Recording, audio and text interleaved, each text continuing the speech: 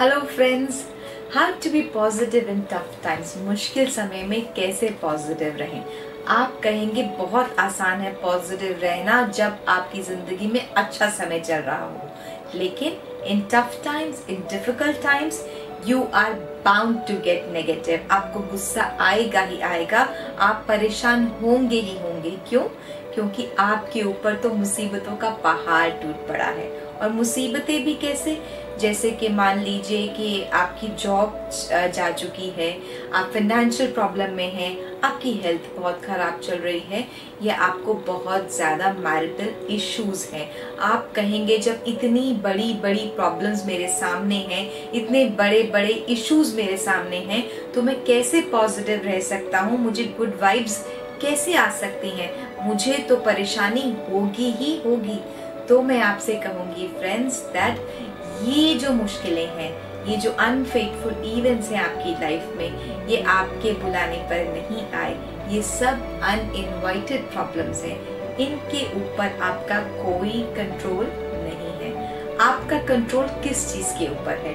इस प्रॉब्लम पर आप कैसे रिएक्ट या कैसा रिस्पॉन्स देते हैं? इस पर आपका कंट्रोल है। और जब आप अपना रिस्पॉन्स और अपना रिएक्शन संभाल लेंगे तो इस रिस्पॉन्स और रिएक्शन के बाद क्या आउटकम होगा, उसको ज़रूर आप इन्फ्लुएंस कर सकते हैं। अगर आप खराब रिएक्शन देंगे तो surely outcome is going to be a disaster लेकिन अगर आप एक थॉटफुल रिस्पॉन्स देंगे तो हो सकता है कि आपका आउटकम बेटर हो और आप बेटर पोजिशन में पहुँच जाएँ। रिस्पॉन्स और रिएक्शन में क्या डिफरेंस है?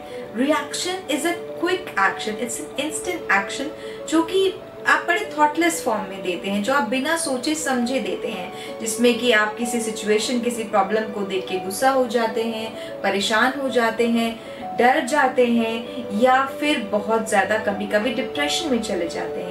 These are all your reactions जब आप रिएक्ट करेंगे किसी प्रॉब्लम पर तो आपका आउटकम बहुत ज़्यादा खराब होगा। रिस्पॉन्स क्या है?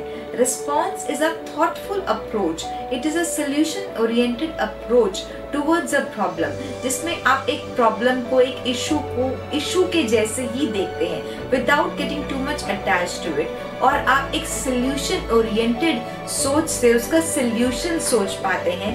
क्यों? क्योंकि आप प्रॉब्लम को सिर्फ़ एक आइसोलेशन में प्रॉब्लम नहीं देख रहे हैं। आप टोटलिटी में उसका एक सोल्यूशन सोचने की कोशिश कर रहे हैं कि ये प्रॉब्लम कहाँ से आई, कैसे आई और किस तरीके से हम इसको अभी सॉल्व कर सकते हैं और आगे ऐसी प्रॉब्लम ना हो। इसके लिए हम क्या स्टेप्स उठा सकते हैं? आपने अक्सर देखा होगा फ्रेंड्स कि जब आपको बहुत जल्दी में कहीं जाना होता है, आपको बहुत हड़बड़ाहट होती है तो आप अपनी चाबियाँ या अपना वॉलेट ढूंढ रहे होते हैं, गाड़ी की चाबियाँ या वॉलेट तो आपको वो वॉलेट नहीं मिलता। आप ढूंढते हैं, परेशान है, आपको जल्दी है। बाबा फ़ोन आ रहे हैं you looking for your keys but you are not able to find your keys तभी कोई फैमिली मेंबर आता है जो बहुत ज़्यादा काम डाउन स्टेट में है। वो देखता है, आपको परेशान और वो आपके लिए चाबी और वॉलेट ढूंढ के आपके हाथ में दे देता है। और आप पूछते हैं कि आपको उनका चाबी और वॉलेट कैसे मिला? तो वो बताते हैं कि वो तो कब से सामने ही रखा था, लेकिन आपकी ही नज़र उस पर नहीं पड़ी। तो जब आप स्ट्रेस में छोटी सी चाबी छोटा सा वॉलेट नहीं ढूंढ पाते तो आप स्ट्रेस में बड़ी बड़ी प्रॉब्लम का बड़ा बड़ा सोल्यूशन कैसे सोच पाएँगे? तो जब कोई प्रॉब्लम आए, जब कोई इश्यू आए आपकी लाइफ में तो आपने क्या करना है? आपने बिल्कुल काम डाउन रह के उसका सोल्यूशन सोचने की कोशिश करनी है कि आप किस तरीके से इस प्रॉब्लम को फेस करें, कैसे आप उसका सल्यूशन ढूंढे। याद रखना friends that tough times do not last but tough people too मुश्किल समय में, मुश्किल समय कभी नहीं रहता। लेकिन जो टफ पीपल होते हैं they last longer they become more successful because जो टफ टाइम्स होते हैं, वो उनको बहुत, और ज़्यादा स्ट्रांग बनाते हैं, और ज़्यादा अच्छा बनाते हैं, और ज़्यादा हार्डवर्किंग बनाते हैं and they emerge to be a winner so be a tough person face your situations with lot of courage and with lot of positivity और आप उसका सोल्यूशन बहुत आसानी से ढूंढ याद रखिए फ्रेंड्स जब आपकी लाइफ में कोई प्रॉब्लम आई है, when it has come to you, it is meant for you. वो आपकी लाइफ में आपको कुछ सिखाने आई है, कुछ बदलने आई है।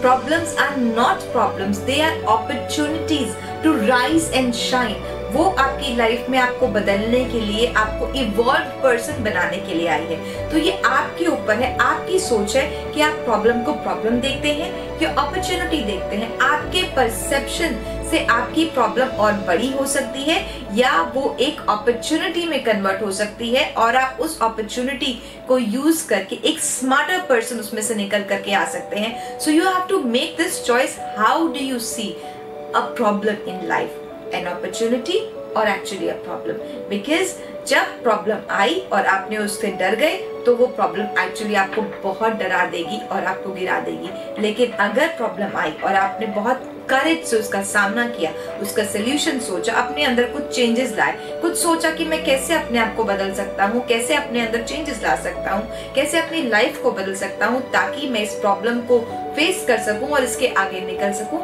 तो आप एक्चुअली एक विनर बन जाएँगे। Your problems can either break you और मेक यू बट वो क्या करेंगी? ये आपकी चॉइस पे डिपेंड करेगा.